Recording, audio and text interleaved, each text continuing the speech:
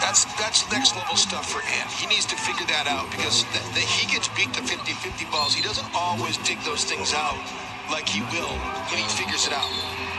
We're going to call an offensive foul here on Melo. He pushed off to get open. Josh Okogie has been giving him the blues, man. The, the Josh has been all over him. Melo has been actually scoring the basketball and has been really effective, but you have to give Josh Okogie a lot of credit for making it really difficult for Melo. Nowell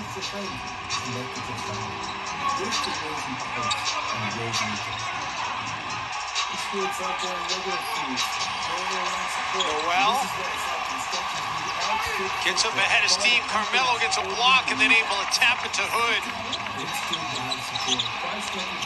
Hood takes it coast to coast. Can't get it to drop, but the whistle comes in. And Rodney Hood's going to go to the free throw line.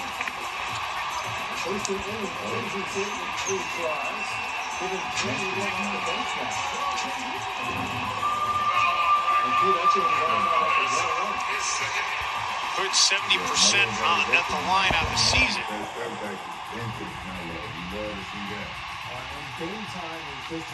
Timberwolves basketball, folks. Sports North is brought to you by TSR Injury Law. Injured? Call 612-TSR time. We're taking a look at the rebounding totals. 26-21 advantage Minnesota in the first half. And that lead has ballooned up, Dave, to 46-29. We have not seen, the Wolves have been one of the poorer rebounding teams in the NBA. Yeah, they were out rebounded double digits in that loss in New Orleans, by the second time this season when they've been out rebounded by 10 or more. Jaylen Nowell, push shot, didn't really look that smooth getting it away. Carmelo, three.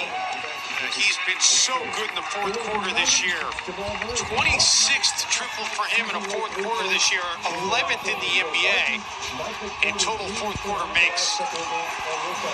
And it's an 8 0 Portland run. Wolves need an answer. Okogie, no. Juancho comes up with the basketball and able to get the second chance bucket. Good for Juancho to stick in there. I don't know why they've taken the ball to Jaylen Nowell's hands. He was initiating offense and good things were happening. Karl-Anthony Towns is going to check in for the Wolves on the next dead ball. Simon's able to get wide open. Switch. And Chris Finch is going to use the timeout. Portland has pushed it up to a six-point advantage after the Wolves had gone up four. It's an 11 to 2 Blazers run and a six-point game.